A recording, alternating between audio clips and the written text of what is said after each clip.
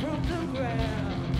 The grass is growing and the sun is over. Sitting on the bed.